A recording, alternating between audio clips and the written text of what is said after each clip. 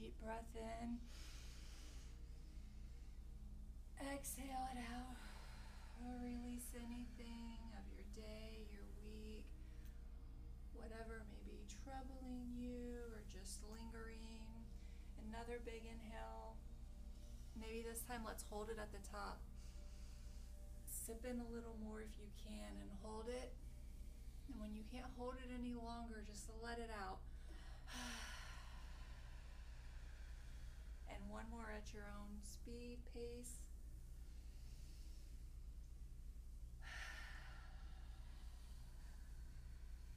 Know that you are safe here. There's nothing you need to worry about. When we have concluded our sound bath, I will let you know and slowly waken you back up to this time and space. So allow yourself to go wherever yourself needs and wants to go this morning.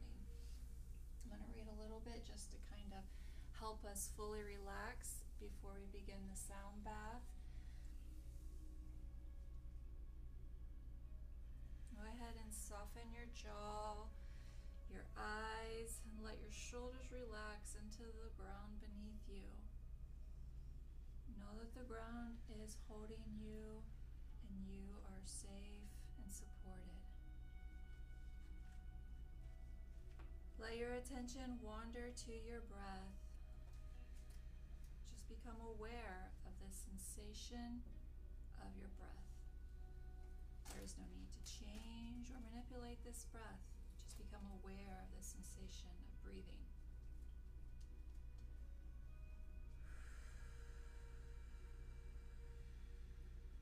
Now, in your mind's eye, notice parts of your body that are touching the ground. Which parts of the back of the body do not touch the ground. Allow your whole body to rest deeply on the surface beneath you. Imagine every muscle within your body sighing. With every exhale, let your whole body sigh into the surface beneath you, fully relaxing and releasing.